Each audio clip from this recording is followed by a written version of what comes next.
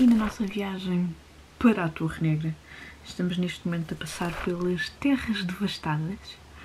Uh, é sobre isso que eu venho falar hoje, ou The Wastelands em inglês. Aviso que próximo livro, ou livro de maio, tive que ver em que mês em que estávamos.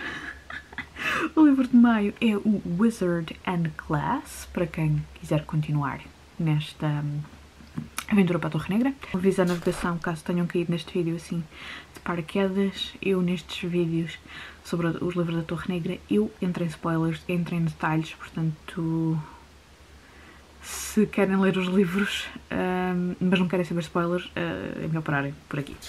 As Terras Devastadas, The Wasteland, o terceiro livro. Finalmente entrei em terreno, ou território novo. Uh, e gostei bastante deste livro. Nota-se uma diferença muito grande do primeiro para o segundo livro e do segundo para o terceiro. As Terras Devastadas. Isto podiam ser dois livros. Mais coisa, menos coisa. Primeiro livro. Basicamente centra-se à volta do Jake, trazer o Jake para Midworld, e enquanto que uh, pronto, o segundo livro é basicamente a cidade de Lud, Uh, e uma pessoa fica a pensar, então e as terras devastadas? Que é o título do livro. O que é que isso tem a ver com. Basicamente, as terras devastadas é onde eles chegam ao final do livro. Ou passam no final do livro. Ou estão a passar no final do livro. Quer dizer, não é que o título seja mau para o título do livro, mas. Enfim, a pessoa parece estar à espera que mais qualquer coisa. Uma das coisas que eu achei piada logo no início do, do livro é que parece que, como existe algum espaço temporal, pouco, mas existe um espaço temporal entre o primeiro, entre o segundo e o terceiro livro. Um, parece que eh, estamos no regresso a uma série. Previously on The Dark Tower. Qualquer coisa assim de género. Achei piada essa parte. A parte dos guardiões eu achei muito interessante. A parte de, de descobrirmos o guardião que era o urso uh, e depois a tartaruga. Se vocês já leram o It, agora começam a perceber o que é que a tartaruga tem a ver com o It, o que é que o It tem a ver com a Torre Negra. Se não leram, eu não vos vou dizer mais, uh, não vos quero estragar o livro It, mas é interessante.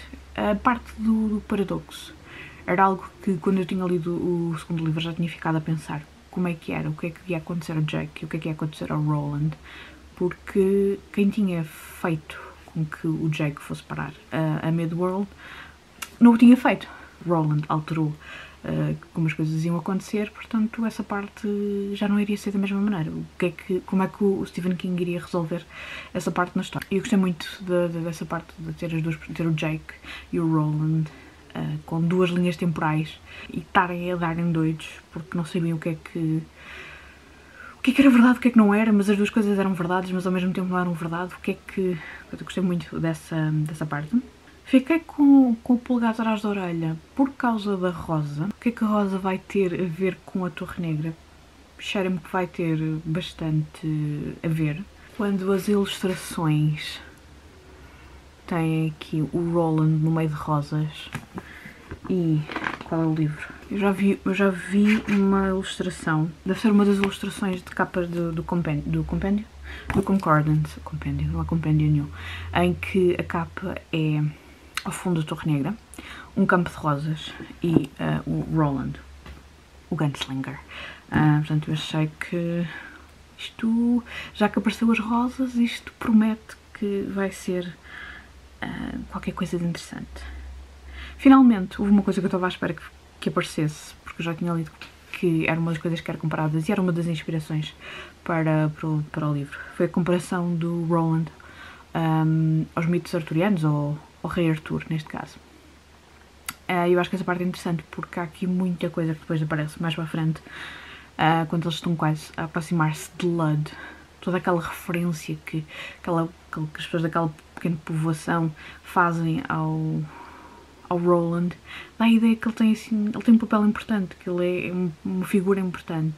E não nos é dado respostas do porquê, que eu acho que também não é completamente necessário o Stephen King estar a dar essas respostas assim todas de uma vez. Um, isso faz-me lembrar de outro ponto que eu queria falar neste, sobre este livro ou sobre esta série, que é Comparando com outros livros de fantasia, em que nos é explicado como é que o mundo funciona, nós entramos na torre, nesta série Torre Negra e não sabemos como é que as coisas funcionam. funcionam. E ao mesmo tempo não há problema em não sabermos, porque o mundo seguiu em frente. E se o mundo seguiu em frente, as coisas, mesmo que a gente soubesse como é que as coisas funcionavam, não interessava completamente saber como é que as coisas funcionavam, porque elas já não são assim. Agora são de maneira diferente. Portanto, todos estes avanços e recuos uh, permitem ao, ao, autor ir escrevendo aquilo que lhe apetece. Ou escrevendo, não que ele já não está a escrever a série, mas na altura em que estava a escrever a série permitiu fazer isso. Eu acho essa. Acho isso interessante. Uma maneira interessante de contar a história. A parte do Charlie the Choo-Choo um, existe também em livro, para quem estiver interessado. Stephen King depois fez mesmo um livro com, com a história do Charlie the Choo-Choo e agora fiquei com vontade de ler de ler e ver as ilustrações, porque as ilustrações acho que são assim um bocadinho. É aquilo que está descrito no livro. Uma outra coisa que eu achei interessante e que neste livro percebe-se um bocadinho melhor um, tem a ver com o facto de o tempo em Midworld não é igual ao tempo no nosso mundo ou aquilo que nós assumimos que é o nosso mundo. Portanto, o mundo de onde veio o Jake, a Susana e o Eddie. Uma cena que eu gostei muito foi a cena da Casa Assombrada, a casa que acaba por ser o portal por onde o Jake atravessa de um para o outro. Acho que tem alguns elementos clássicos de horror, ou pelo menos do horror que eu já li, uh, e eu adoro. Eu gosto imenso de, de. Já gosto de histórias de fantasmas. Depois gosto de casas assombradas. Um, e tem ali algumas vibes de do livro The Haunting of Hill House da Shirley Jackson, porque a casa está viva e a casa tem, de repente, transforma-se num monstro. Uma coisa que eu já estava à espera que ia acontecer, ah, porque já sabia alguns spoilers, ah, mas às vezes chateia-me esta obsessão que o Stephen King tem com sexo ah, e de pôr personagens femininas a passarem por cima por cenas estranhas. Mas pronto, na altura em que o, o Jake está a passar de um lado para o outro, temos a Susana a distrair um demónio barra vidente, assim, uma coisa assim estranha. Uh, mas uh, também achei piada de, de Deta uh, assumir o poder e dar a volta à situação. Mas será que deu volta à situação? O que é que vai acontecer dali? Não sei, vocês vão ter que esperar pelos próximos livros. Eu já sei, mas não vos vou dizer. A criatura que eu mais gostei de conhecer neste livro foi o Oi. Oi. Oi. Achei um piadão. Uh, eu não sei como é que ficou traduzido para português o tipo de criatura que, que é, mas basicamente aquilo é quase como se fosse um cão, mas do, do Midworld. Uh, que repete. repete aquilo que as pessoas dizem. Uh, acho, acho que está tá giríssimo. E achei também muito interessante. Aposto que foi de propósito. O Jake quase que poderia ter perdido o Oi mas pelo menos duas vezes ao longo da história.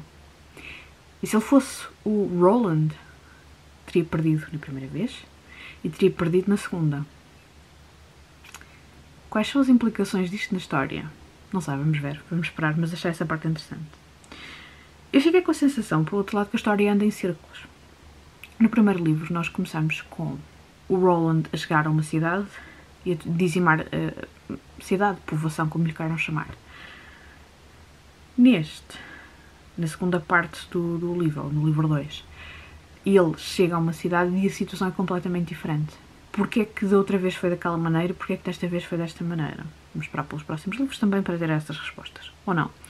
Pode não ter relevância nenhuma, mas achei interessante porque parece que foi aos círculos. E depois aquela parte de a seguir à cidade, um, quando o Jake uh, lhe dá água e o salva depois de ele ter passado o deserto e o Roland, há aqui uma parte do livro em que também tem que fazer isso, lá mais para frente, já depois da cidade de Lud. Portanto, parece que há aqui, eh, mesmo dentro da própria história, há, há, há momentos que se repetem, de maneira diferente, mas que se repetem.